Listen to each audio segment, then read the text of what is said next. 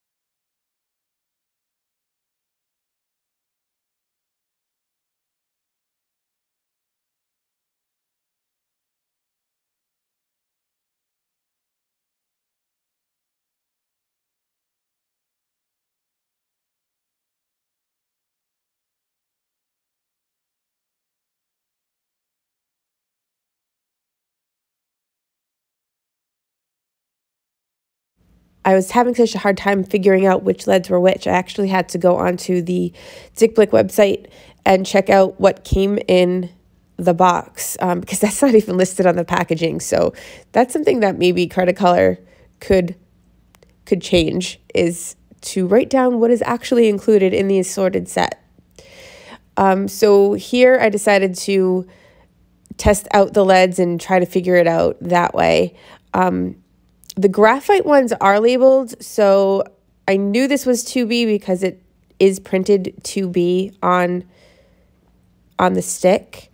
Um, and it was super, super smooth and super um, silky right on the paper. That one I really enjoyed uh, writing with.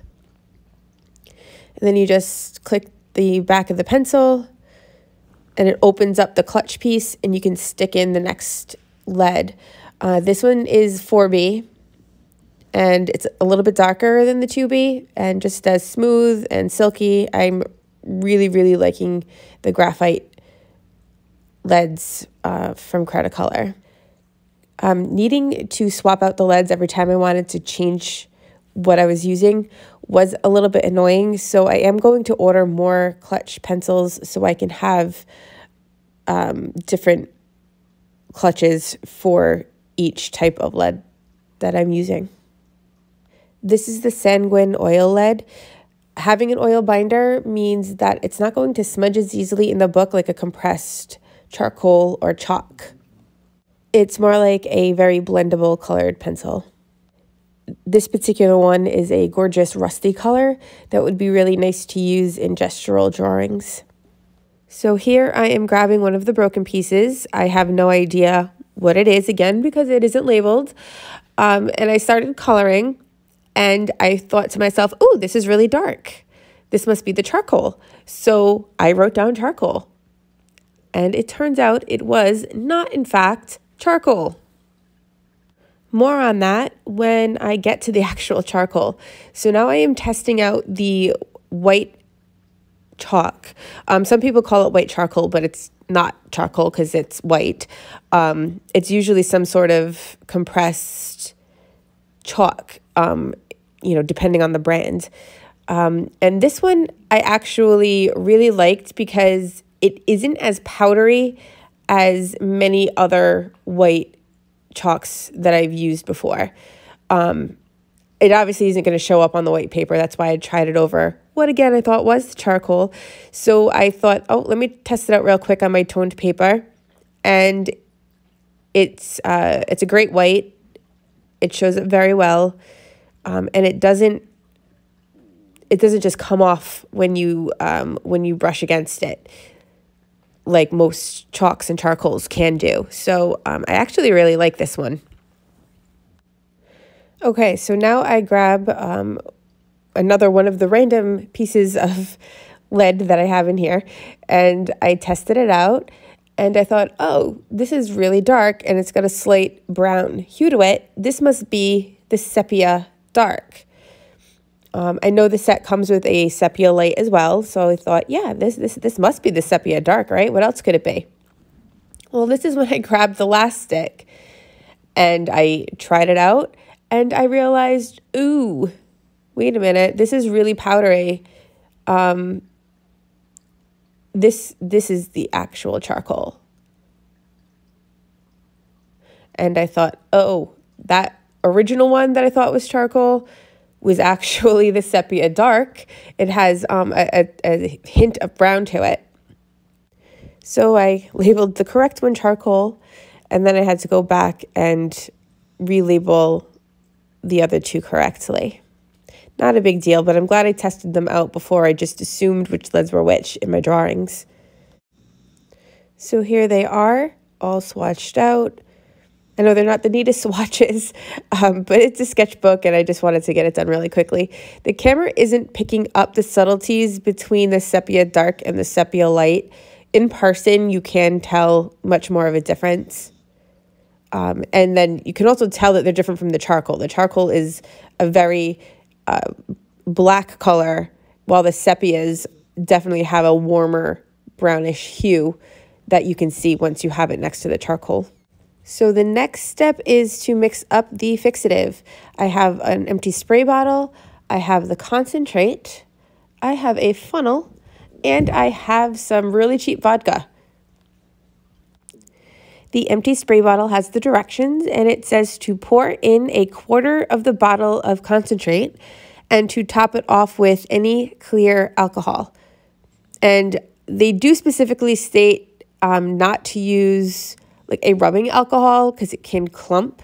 So um, you want to use a grain alcohol or a vodka. Shook it up really well. And what I like about the bottle is it's marked at the quarter lines. So I don't need to guess when I'm pouring it into the spray bottle, um, you know, the correct amount. It's marked for me. This is a casein based fixative. A casein is basically a paint product that's made from milk protein and alcohol. Um, and it's supposed to be a lot safer than typical fixatives that you would use over chalk and charcoal. This also is supposed to be much better for uh, light colored pastels and chalks. Most fixatives that I've tried, when I spray them over a drawing where I've used a white chalk, the chalk just disappears. It goes away and it's like you never used it. And this is supposed to prevent that. So I'm really, really, really hoping it works time for the vodka when I went into the liquor store and purchased the bottle on the lowest shelf at the cheapest price. Um, the guy cashing me out kind of looked at me funny. And I said, It's for an art project. I am not drinking this. And he said, Well, good, because this is the only thing this alcohol is good for is art projects. I cannot vouch for this quality of alcohol. Um, I will not be trying it. So maybe it's fantastic and I'm really missing out. I don't know. every time I use a funnel, I forget I have to account for the amount of liquid in the actual funnel itself. So I did slightly overfill the bottle. Uh, when I went to go close it, it um, came out of the sides a little bit, but I keep rags in my craft room, so it wasn't a big deal. I just wiped off the sides and uh, we moved on. The amount of spray that comes out of this bottle is quite a bit. Um, I was not expecting that much liquid to come out. I did panic at first. I thought my page was going to be ruined because it buckled so much, but it ended up being fine. Um, you do need a couple of coats. Um, now, over here, I tried rubbing it and I hadn't let it dry completely, so I probably should have let it dry completely before I touched it. Um, later on in the video, after I do my drawings, you'll see that it does actually work pretty well. Um, it definitely, at one coat, makes a big difference. This would have been much smudgier if I hadn't put anything over it at all. I'm going to be drawing these pears that I found on the Unsplash website. It's a royalty-free website where you can find all sorts of great images to draw. I started off using the dark sepia on my tone tanned sketchbook from Strathmore. And um, I was experimenting with these makeup brushes to see if they'd be a good tool to blend the um, the sepia charcoal with, and it worked great. They were really good to use. And I'm just playing with the the different sticks here. Thought I'd use the white charcoal. Those didn't blend as well with the um, brushes because it's not nearly as powdery as many chalks that I've used. Um, that's not a bad thing. I hate how most chalks don't stick to regular drawing paper. So I'm really enjoying this particular chalk. And then I went in with the charcoal. Now, the charcoal isn't quite as dark as I would like my charcoal to be it's fine. I'd rather use this in clutch format than a charcoal block or vine charcoal from a different company. Um, it's much cleaner on my hands to use the clutch pencil. So I will sacrifice the darkness of the charcoal for the convenience factor of the clutch pencil. Another reason I wasn't quite getting the darks I wanted was because this paper doesn't have much tooth, so it doesn't hold on to very much pigment. Um, that is not the fault of the charcoal itself, that's the fault of the paper. I could have tried using the fixative in between layers of charcoal to hold down the pigment in order to build um, darker layers. The problem with this though is once you spray the fixative on, the pigment is is there and it's going to be difficult if not impossible to remove so you can't really correct for mistakes once you're putting down fixative so um, because this is just the sketchbook um, i wasn't too stressed about how dark my ducks were getting this was just me trying to play with these new products and see how they worked so um, i didn't really want to waste my time waiting for the fixative to dry in between each layer I want to reiterate how much I like this white chalk. It was very bright. It erases easily and it it isn't super powdery. I hate the, the powdery chalks that get everywhere. I do want to try Cretacolor's Nero color. They're supposedly a charcoal that has a little bit of an oil uh, binder to it, and it's supposed to be less powdery than a traditional charcoal. So because I'm enjoying their other leads so much, I think I'm going to give that a try too. And they come in the same size sticks as these, so they'll fit right into my um, clutch pencil. These makeup brushes did a great job giving me a nice soft blend for the plate underneath these pears. If you don't have spare brushes, either makeup brushes or spare paint brushes to use, you could always use your finger. I ended up using my finger a little bit. You can use uh, tissue, a tortillon stump. There's all sorts of things you can use to blend out charcoal. You don't have to use makeup brushes. I just had them and I knew I wasn't going to use them for makeup, so it worked out well for me. After I threw in a few highlights onto the pear, I went in and I put the shadow of the pear. I knew that was going to be one of the darkest values in this drawing, and I wanted to make sure that that was in there so I could better judge the values of the pear, um, you know, as I was using my reference photo. Once that shadow was in there, I was better able to judge the rest of the values in the picture. I noticed the background wasn't as dark as I wanted it to be, so I took that dark sepia and I went in and I did another coat and I tried to go in one direction to make it a little less scribbly looking. I wish I had done that for the white table as well. Uh, I just didn't notice at the time um, how scribbly it looked. Um, that's why you should always walk away from your work before you decide it's done and come back and take another look because you're going to notice things later on that you didn't notice while you were sitting there. My takeaway using this charcoal on this paper, I didn't love it. Again, it's not a fault of the charcoal. It's just there's not enough tooth on this paper. It was kind of difficult getting the tones that I wanted. I would definitely use the white chalk and the sanguine oil on this paper. So I sprayed this with the fixative and it looks like the white is disappearing. It isn't. Once it's dry, it comes back. Here is another photo I found on Unsplash. I think they're lemons. They're very odd shaped citrus, whatever they are. I just thought the yellow would be a good option to use in my sketchbook with all my different colored paper. This is very, very thin paper. Um, I believe I'll only be able to use dry media on this paper. It surprisingly took the chalk and the charcoal quite well. Um, even though it seems to have less tooth than the Strathmore paper, the the charcoal didn't come off as easily as it did on the Strathmore. And the reason why I'm not using the clutch pencil here is I accidentally snapped a little piece of the end off of one of the sticks. It's definitely um, brittle and you definitely want to use it in the clutch pencil.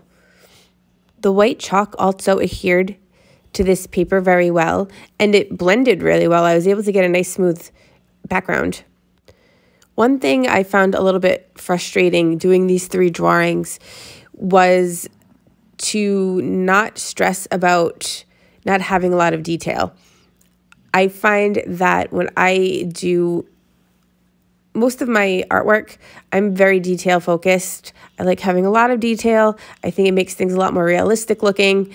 Um, I struggle with painting very loose. So for me, using a 5.6 millimeter lead in a tiny sketchbook in charcoal was a uh, challenge, let's say, for me.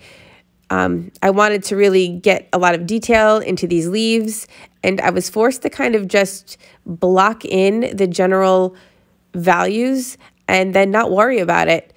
Um, I could have gone in with charcoaled pencil and you know sharpened it really fine and maybe gotten in some detail that way but I wanted to just use these charcoals and I wanted to really push myself out of my comfort zone. That's something I'm trying to do this year um, and be a little bit more flexible with my artwork and not stress if it isn't necessarily going exactly the way I want it to go.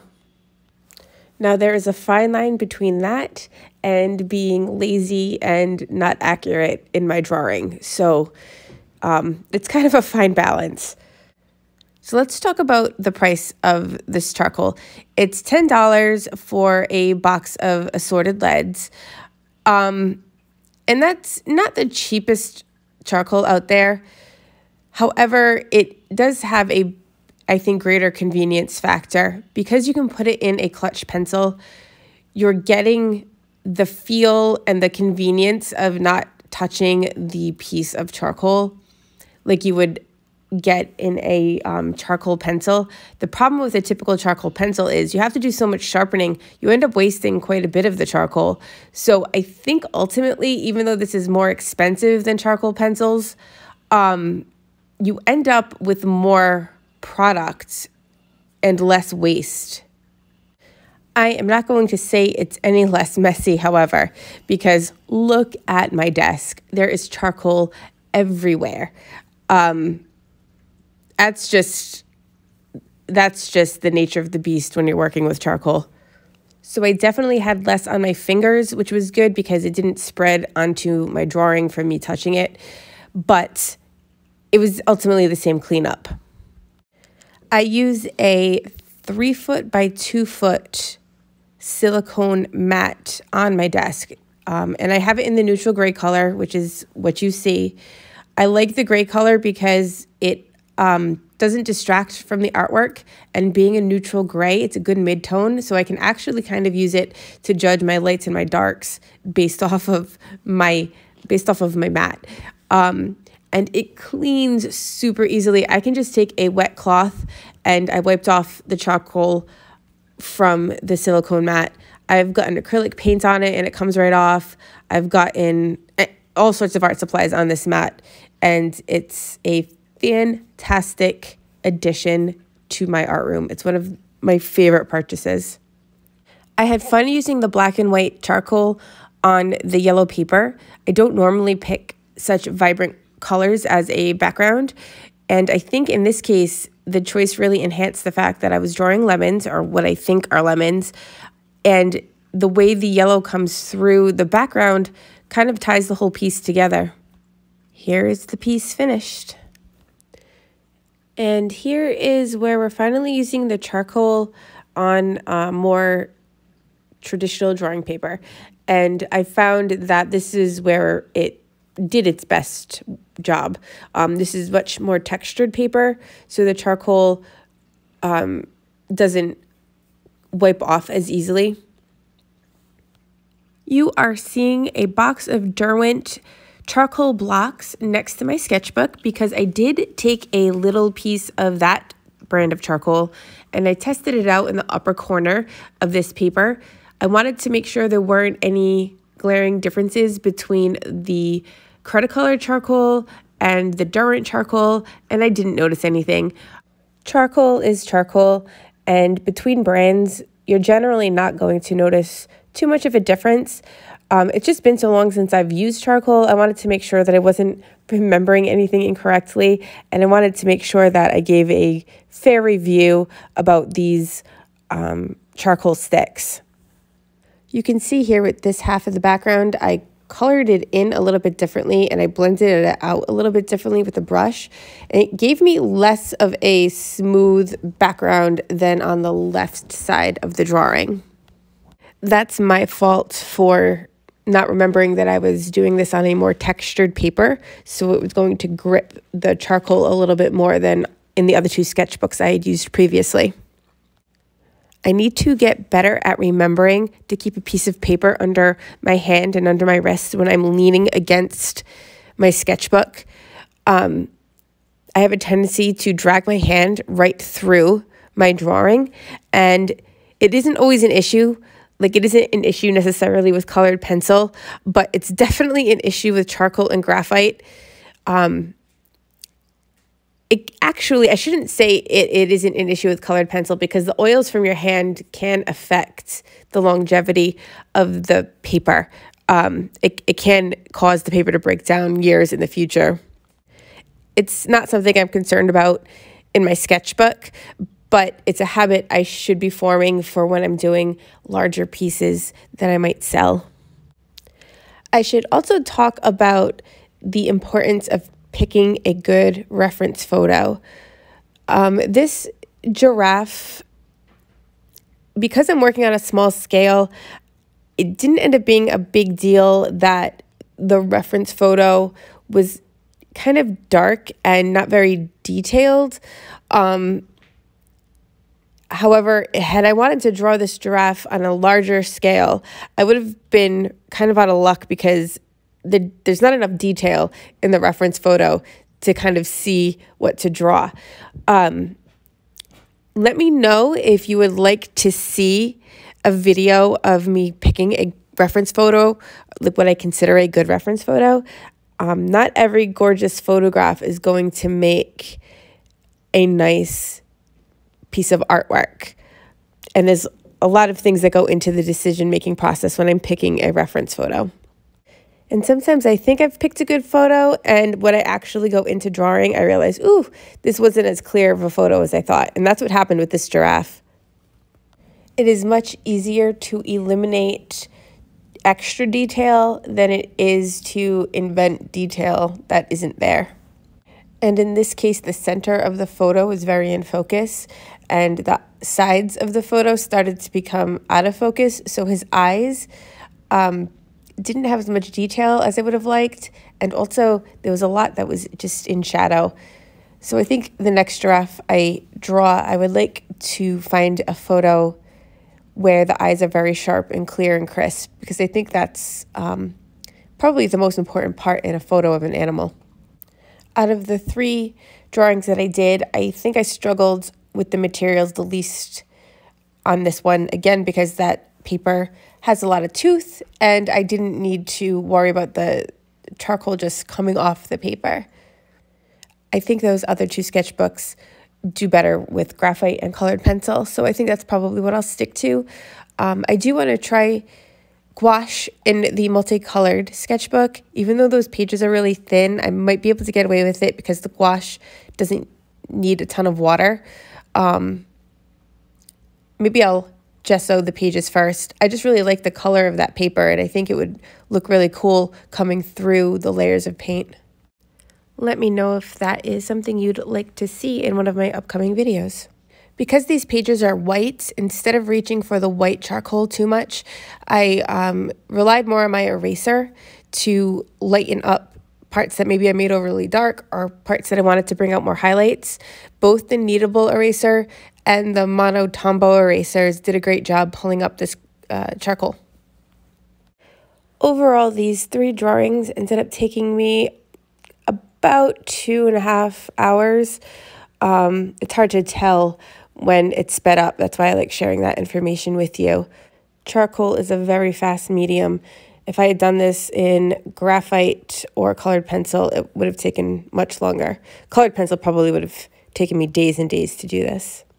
Once I finished the giraffe, I sprayed this drawing and I sprayed the lemon drawing. You can tell that a tiny bit of the charcoal does come off when I rub them, but it's nothing compared to what would be happening if um, they hadn't been treated with the fixative. And almost nothing's coming off on the tissue. So I feel very comfortable closing up these sketchbooks and not worrying about transfer onto other pages. Something to keep in mind when you're spraying the pages, do not panic when they buckle and when the white chalk seems to disappear. Once the uh, spray is completely dry, the page will no longer be buckled and the white seems to come back. So um, this is definitely a fantastic purchase. The nice thing about the bottle being so small is I can throw it right into my travel art kit. So between that and the clutch pencil holding onto the charcoal, I can travel with it and it's actually not a, a huge mess making deal that it would be without the clutch pencil and the spray. They both have made this a uh, more enjoyable process. If you stuck around this long, Thank you so much. Let me know what you think of these quick sketches and let me know what you'd like to see in my next few videos. Thanks again for sticking around. See you soon. Bye.